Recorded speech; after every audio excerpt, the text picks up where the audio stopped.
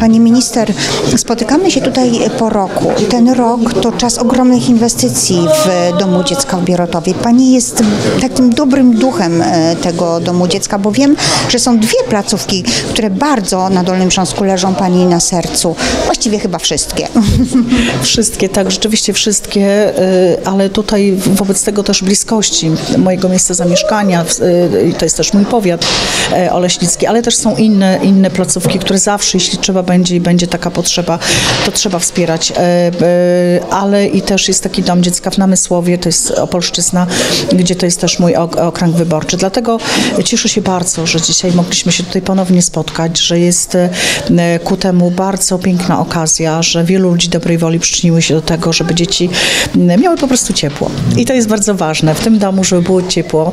Nie tylko to, które niosą wychowawcy, bo wiemy, że niosą, ale też to fizyczne ciepło, e, o które było to wielkie zatroskanie władz placówki, dlatego że budynek jest olbrzymi, obszerny, m, że również wymagał bardzo termomodernizacji, wymagał wymiany okien, wymiany m, e, e, pieców i w tej sytuacji to jest ważne, bo to też obniża koszty e, funkcjonowania tej placówki i można te środki przeznaczyć na inne potrzeby dzieci, na inne potrzeby placówki.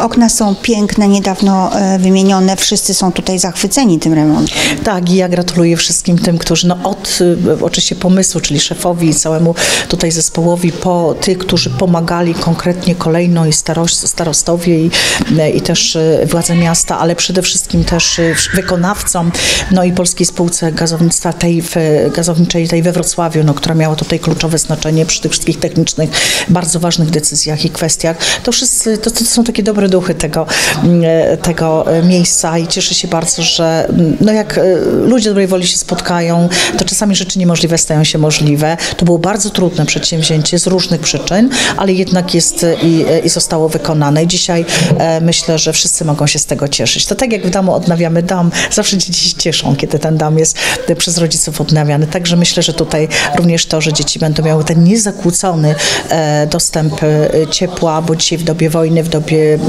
w- szalejących cen, chociażby też węgla, mm, ale też przestarzałego, przestarzałej infrastruktury byłoby to bardzo trudne. Panie starosto, to między innymi Pana troska sprawiła, że Dom Dziecka w Bierutowie wygląda dzisiaj tak, jak wygląda i jest ciepłym domem.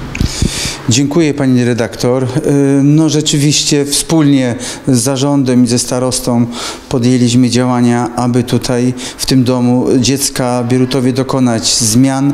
Nie tylko z tego powodu, że mieszkańcy y, domagali się zmiany ogrzewania y, innego niż to istniejące, ale główną troską naszą, naszą było to, aby tym dzieciom zapewnić jak najlepsze warunki.